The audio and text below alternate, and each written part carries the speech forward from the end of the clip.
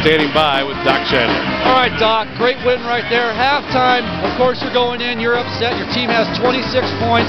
They're on fire. What do you tell them at halftime? Well, the thing that I was disappointed in, uh, Eric, is, is our defense.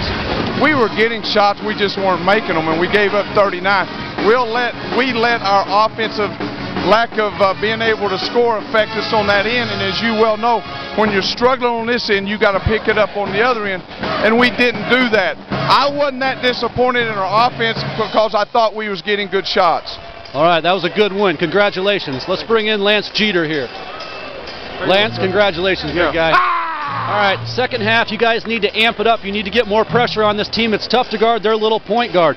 What did you guys change to up the tempo and get the turnovers to get back in the game? No, just that believing, just believing in each other, helping out each other. I mean, we had in the past we had a hard time finishing games. I'm just proud of my team because they just they just finished it, and that's just that's just all the effort on my team. I'm just proud of them. Well, congratulations, Lance.